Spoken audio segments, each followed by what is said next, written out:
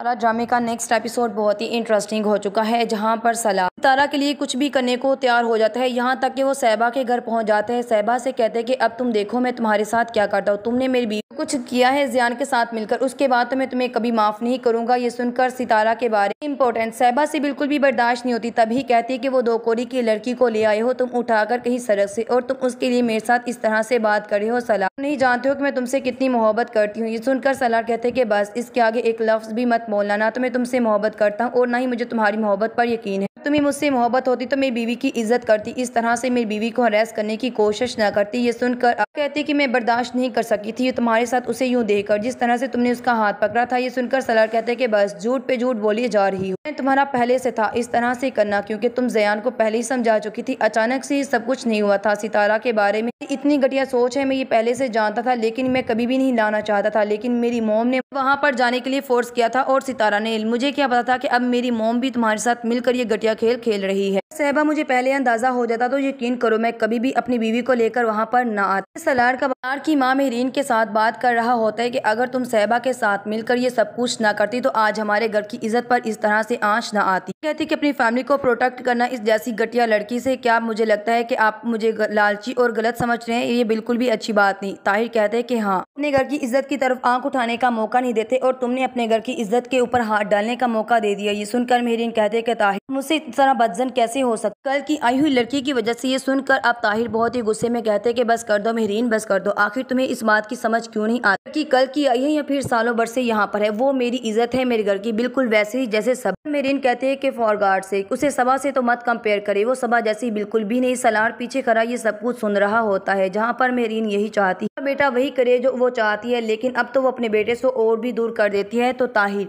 जहाँ पर वो अपने बेटे के बहुत करीब हो चुका होता है। ताहिर की ये बातें सुनकर सलार को बहुत अच्छा लगता है कि आखिरकार, डैड तो सतारा के बारे में गलत नहीं सोचते डैड तो मुझे लगता था कि मुझे कभी भी एक्सेप्ट सितारा के साथ नहीं कर मोम ने तो मुझे बहुत ही डिसअपॉइंट किया है। सलार वहाँ से चला जाते हैं। सलार सोच लेता है कि अब कभी भी सितारा की पार्टीज़ में लेकर नहीं जाएगा। अब जैसे ही सलार कमरे में जाता है, जाकर कहते हैं कि, सितारा, जल्दी से तैयार हो जाओ।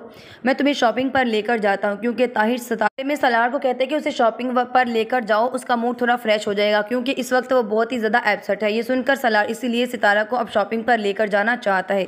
सलार अब जैसे ही सितारा को शॉपिंग पर लेकर जाता है तो सितारा यही सोच में पड़ जाती है कि आखिर सलार ये सब कुछ क्यों कर रहा है? सलार मुझसे क्या चाहता है? मुझे तो खुद भी नहीं समझ आती।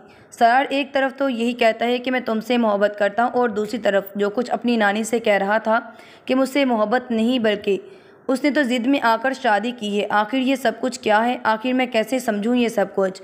क्योंकि सलार ने तो मुझे खुद एक बहुत ही हैरानगी में डाल दिया। सलार के साथ शॉपिंग करने के लिए चली जाती है तो सलार खुद उसके लिए बहुत ही ज़्यादा आर्टिकल्स चूज़ करता है। ये देखकर सितारा भी बहुत हैरान होती है। सलार से आखिरकार पूछ ही लेती है कि आखिर मुझे बताओ कि तुम चाहते क्या हो? सलार कि मैं यही चाहता हूँ कि बस हमारे दरमियान झगड़ा खत्म हो जाए, ये सुनकर सितारा कहती है कि ठीक है, हो गया, झगड़ा खत्म। बहुत ही खुश होता है, सलाड कहते हैं कि देखो सितारा, मैं सारे झगड़े खत्म करके तुम्हारे साथ एक मैरिड लाइफ गुजारना चाहता हूँ, जिसमें कोई भी झगड़ा ना हो। हमारे झगड़े की वजह से सहबा को मौका मिला था ये सब कुछ करने का। सितारा कहती है कि बस सहबा को ही नहीं, बल्कि आपकी मोम को भी। आपकी मोम ने मिलकर ये सब कुछ किया। मोम ने ही तो मुझे फोर्स किया था वहाँ पर जाने के लिए, क्योंकि वो ये चाहती थी कि मैं वहाँ पर चली जाऊँगी तो सारे झगड़े खत्म हो जाएँगे और जो कुछ भी किया था, जिस तरह सहबा के मुँह पर थप्पड़ मारा था, उसकी पालोजाइज भी मुझे मिल जाए। सुनकर सलार को इतनी हैरानगी नहीं होती क्योंकि वो अपनी माँ की बातें सुन चुका होता है कि मेरी माँ वाकई ये सब कुछ में मुलवस थी। कहते हैं कि देखो सितारा, तुम्हें मोम की बातों में भी आने की बिल्कुल भी ज़रूरत नहीं। उस घर में तुम्हारे साथ कोई भी मुखलिस नहीं है। ये सुनकर सितारा कहती है कि तुम भी मेरे साथ मुखलिस नहीं हो। सलार कहते हैं कि अफकोर्स मैं तुम्हारे साथ मुखलिस हूँ।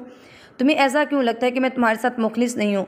सितारा कहती है कि कुछ नहीं, लेकिन सलार ये बात समझ आता है कि सितारा के माइंड में कोई ना कोई बात तो ऐसी ज़रूर है जो वो मुझसे छुपा रही है, लेकिन मुझे जाननी है आखिर बात क्या है।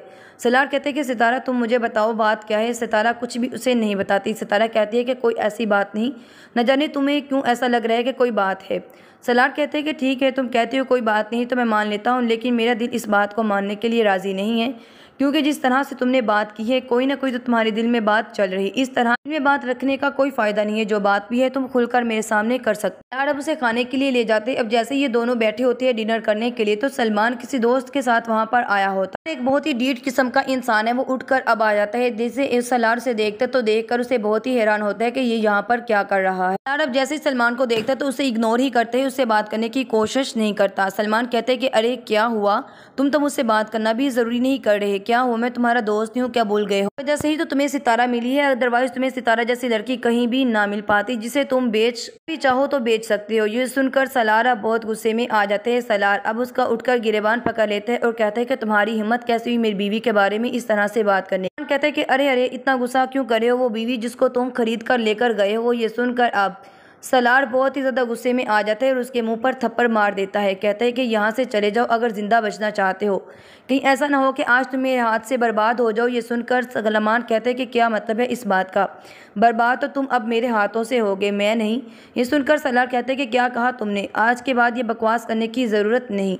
आज जो बकवास कर ली है, तुमने कर ली। इसके बाद तुम्हें ये बकवास ज़रूरत ही पेश नहीं आएगी, वो उसका मुँह तोड़ देता है। सलमान को सब लोग छुड़ाने की कोशिश करती है और सलार को पीछे करते हैं। सतारा भी कहते हैं कि सलमान आवारा और गट्टे किस्म का लड़का है, सलार इसको छोड़ दो इसके हाल पर। क्यों इस तरह से करे? सलार कहते हैं कि नहीं, मैं इसे ज़िंदा ही नहीं छोड़ूँगा। इसकी हिम्मत कैसे हुई? कुछ कहने की, लेकिन सलमान फिर भी बाज नहीं आता। सलमान उठकर कहते हैं कि तुम्हारी बीवी एक बकाऊ है। इसे खरीद कर तुम लेकर आए हो कितने दिन इसे अपने पास रखोगे? कर सितारा को अब बहुत ही ज़्यादा बुरा भी लगता है, जबकि सब लोग वहाँ पर खड़े वीडियो बना रहे होते हैं। अब सबके मोबाइल पकड़ पकड़ कर नीचे फेंकता ये सारी वीडियो में रिकॉर्ड हो जाती है। सितारा कहते कि मुझे आपके साथ बाहर ही नहीं आना चाहिए था। ये सुनकर सलार कहते क्यों? सलमान से डरती हूँ, लेकिन मैं नहीं डरता हूँ। मुझे इन लोगों का मुकाबला करना है और मुझे मुकाबला करना बहुत अच्छे तरीके से आता है। सितारा, तुम्हें फ़िक्र करने की ज़रूरत नहीं है।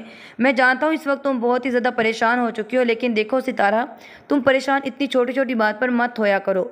मैं तुम्हारे साथ हूँ जब तक तुम्हें कोई भी नुकसान नहीं पहुँचा सकता। ये सुनकर सितारा कहती है कि, लेकिन हाँ जब तक मैं तुम्हारे साथ हूँ तुम्हें नुकसान पहुँचता ही रहेगा। इसलिए मैंने सोच लिया है कि हमारी ज़िंदगी में नहीं रहूँगी, तुम्हारी ज़िंदगी से हमेशा हमेशा के लिए कहीं बहुत दूर चली जाऊँगी।